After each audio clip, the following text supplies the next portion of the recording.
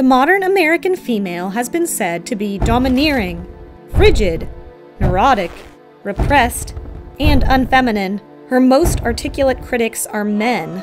Men admit that what really irritates them about modern women is that they can't or won't give themselves completely to men the way women did in the old days. This is undoubtedly true, and this, God knows, is a good thing.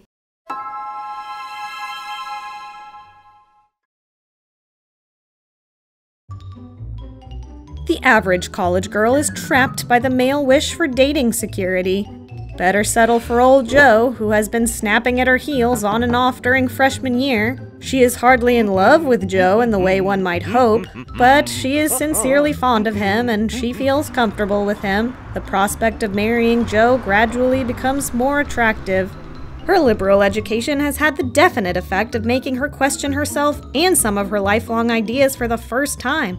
Sometimes shatteringly, she has learned to think intelligently about herself and her place in the world. Our liberally educated girl is not very likely to be swept away on the tide of passion. With a first feeling of lust, her mind begins working at a furious rate. Should she or shouldn't she? What are the arguments on both sides? Respect or not? Does she really want to enough? She is in the habit of analyzing everything and trying to lay a pattern for her life. To get on in this risky and nerve wracking world, she must keep what a disillusioned male friend of mine calls the safety catch. There must always be something held in reserve, a part of her that she will give to no one, not even her husband. It is her belief in herself.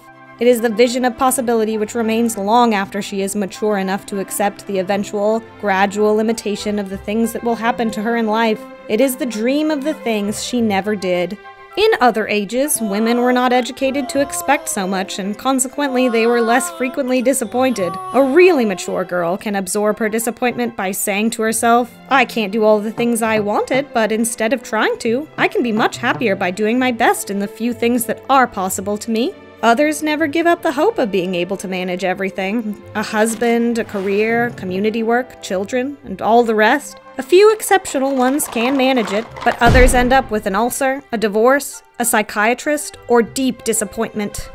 The safety catch, then, can be a woman's happiness or her doom. If my disillusioned friend complains ah. about it, he had better realize that as long as he wants an educated woman, his chances of finding one who is also willing to be totally dominated by her husband are fairly slim.